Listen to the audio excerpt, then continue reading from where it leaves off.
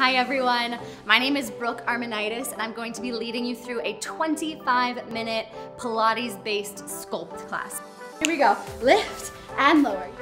You'll need a towel for sliding under your feet. We're gonna go through some really slow movements and then we're gonna kind of go opposite of that and get some cardio bursts in. So you'll get your heart rate lifted and then it'll come back down. Three, two, last one. So good.